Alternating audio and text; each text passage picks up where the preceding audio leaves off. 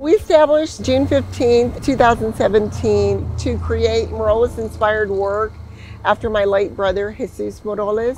A few months after we started the business, Harvey hit and uh, devastated what we had just started building. But then I received information about Texas Back in Business. Once we received the grant, we were able to go out and purchase granite and start on projects that we were not able to get going. It just came in very handy material wise to be able to do that and get going again. Had it not been for the Texas General Land Office, we don't know how long it would have taken us to really get back on our feet. I would just like to say many thanks. We're very happy that we were able to be a part of this.